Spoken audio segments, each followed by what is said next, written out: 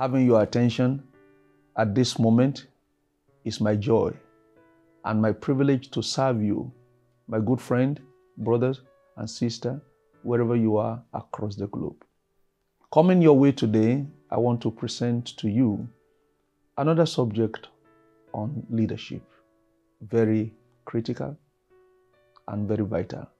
Let me simply caption this as how to identify the true image of leadership. You know, everything in life is about image, how you view things.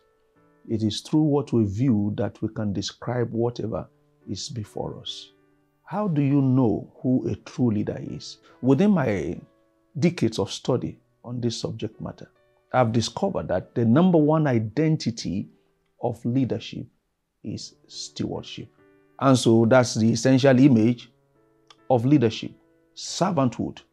You can tell who a leader is by knowing how well he serves. Just like growing up, you can predict what a child will become by how well the child lives because you don't suddenly emerge as an elder. The traits of eldership, of manhood, begins at childhood. If you are not a servant, you will never have a taste of leadership. As a matter of fact, those who don't serve should never dream of becoming leaders. If by any means you assume leadership and have a taste of it, it will turn sour in your mouth shortly. It will become like gravel that you'll never wish to have in your mouth. So, servanthood is the path to practicing and developing leadership traits. You cannot be a servant and not become a leader. So, to qualify in taking the lead, you necessarily have to bow to serve. Bowing to serve is key to rising to lead.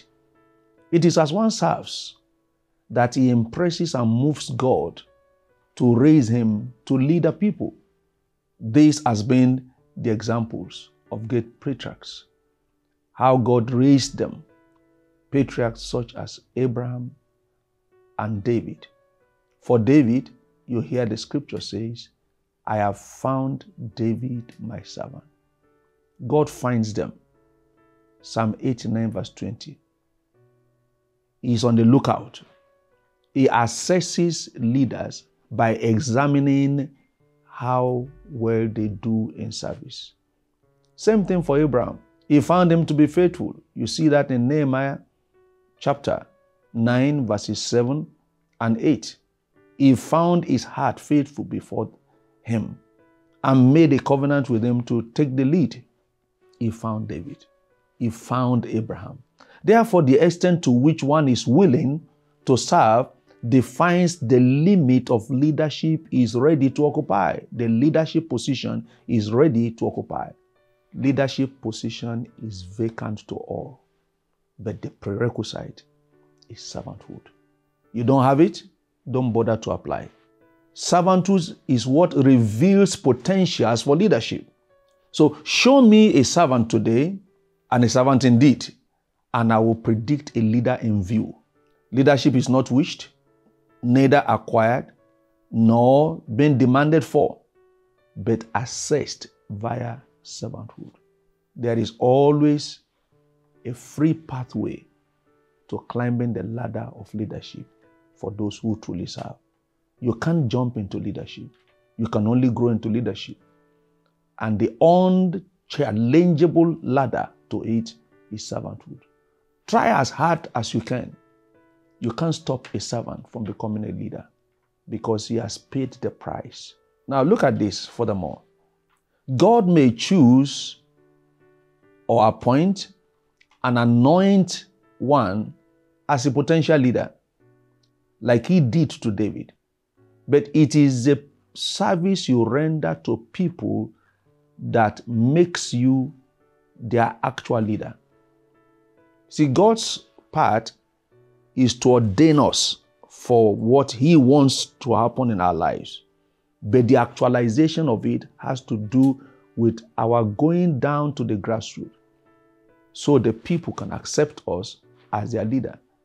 That is to say, God appoints, but you have to serve for the people to accept you. Leadership does not try by imposition of self in any organization, whether spiritual or secular, industry or ministry, political or otherwise.